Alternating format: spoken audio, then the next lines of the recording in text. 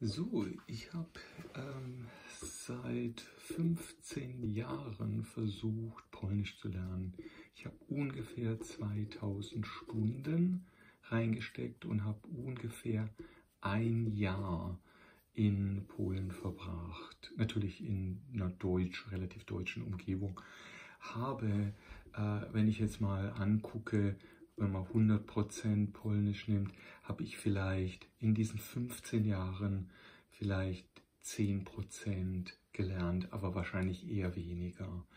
Äh, mit einer ganz schwankenden Kurve. Also ich würde sagen, die Kurve war äh, 0, äh, so ganz bisschen, ganz bisschen, also, also ga, ganz, ganz langsam. Also und das 100 wäre hier. Ne? Also ich bin hier angekommen nach 15 Jahren und 2000 Stunden und das ist ganz schlimm. Ich habe äh, ungefähr sechs große Versuche unternommen mit eigenem Lehrer, mit Sprachkurs, mit CDs, mit äh, Duolingo äh, und noch viel mehr andere Applikationen. Also so, ich würde sagen, sechs große Versuche äh, und bin äh, praktisch sechsmal relativ stark gescheitert und es war auch nicht persistent. Es ist dann, wenn ich dann mal ein paar Monate weniger gelernt habe, dann bin ich eher wieder zurückgegangen und so weiter. Und ich habe dann herausgefunden, es gibt ungefähr 20 Gründe, warum Polnisch so schwer für Deutsche ist. Ja? Und jetzt habe ich dann äh, praktisch einen, äh, den Plan, äh, praktisch so einen Kurs zu entwickeln, äh, gerade indem ich diese 10, 20, diese 20 Gründe praktisch nach und nach äh, beseitige, indem ich sie bei der praktisch beim Aufbau des Kurses berücksichtige, diese 20 Gründe. Was ich hier in diesem ersten Video aber sagen möchte, ist, wie kann ich mit sieben Wörtern, mit sieben Wörtern äh, eine volle Konversation machen, die von Begrüßung, also Begrüßung äh, über wo ich wohne, wohne, wo arbeite, und äh, dann, wo man dann äh, essen geht, essen, äh, ausgehen und Kontakt. Also ein neues Treffen. Also im Prinzip so eine ganze Konversation. Ähm, und diese sieben Wörter sind äh, das Wort Cześć. Ich schreibe es mal Cześć. Schreibt man natürlich komplett anders. Ja. T spricht man nicht T aus, sondern T, T, Dobre, einiges oder andere Wort kennt vielleicht jemand, Tag, dann Nie und dann Dobre hatten wir schon, sorry, Jestem, Jestem. Und dann nehmen wir noch Jesteś.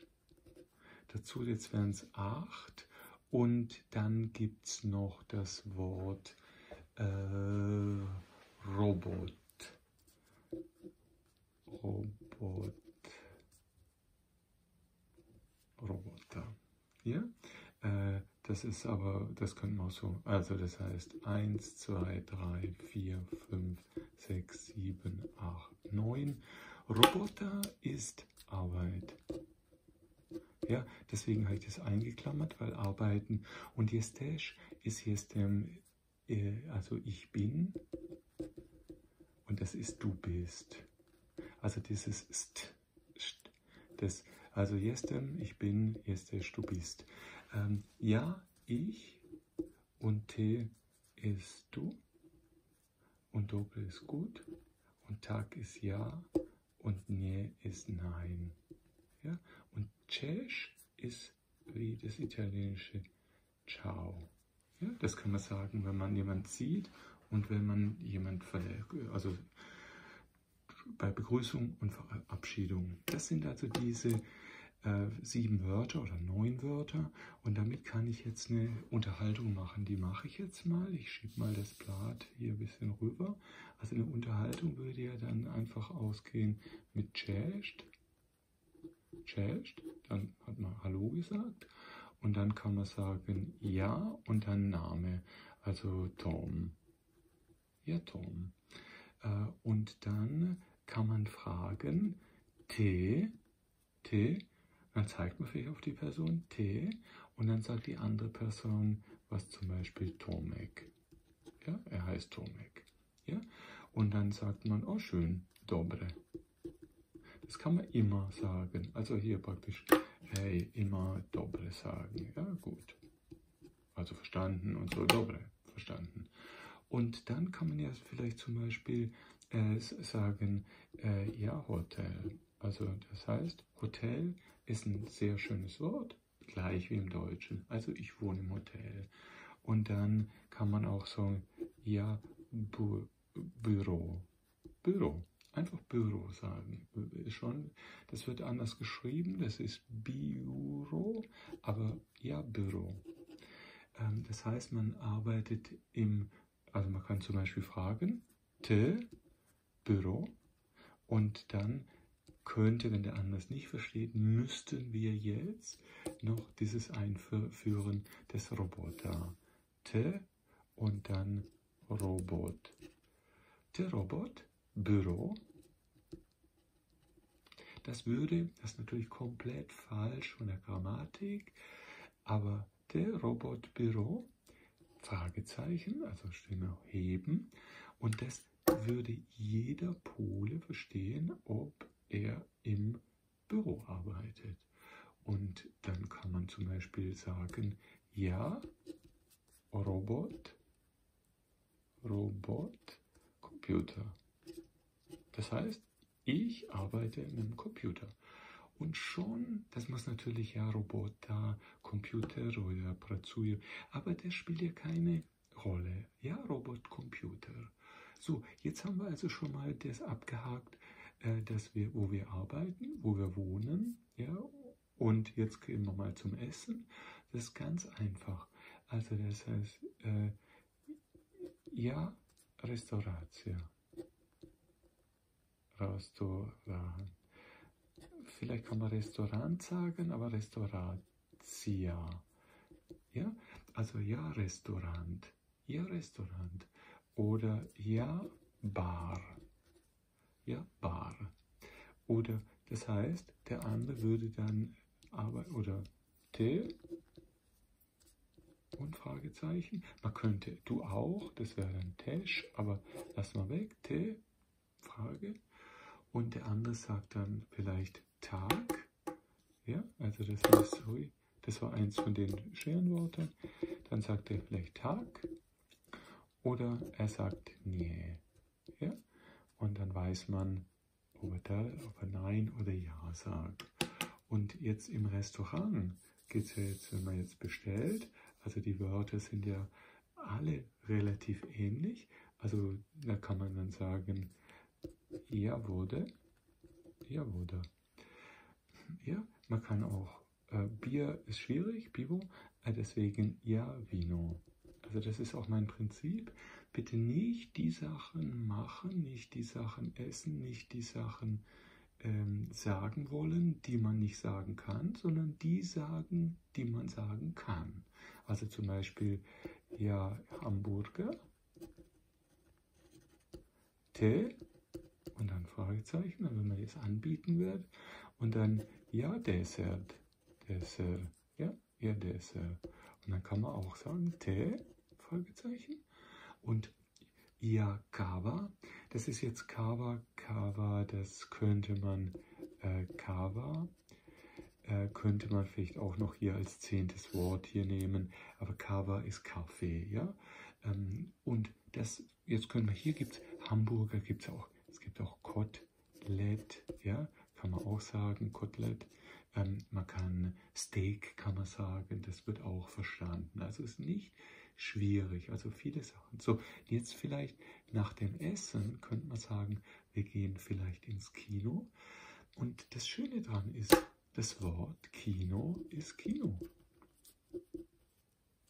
Dann also ja Kino, ja Kino, te. Dann ich ins Kino, du. Oder ja Konzert, Konzert. Konzert. Ja, das ist ja Konzert. Ähm, ja, Museum. Museum ist perfekt. Ja, man kann und dann, wenn das alles gut gegangen ist, kann man ja sagen, te Nummer, Nummer, Telefon. Ja, das ist natürlich, müsste es Telefon nu heißen, aber ist egal. Te Nummer, Telefonu und Fragezeichen hier dran machen und schauen, kriegt man eine Telefonnummer.